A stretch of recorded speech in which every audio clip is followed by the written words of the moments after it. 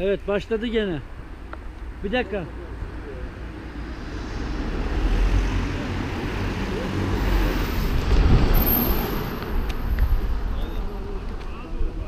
Aha.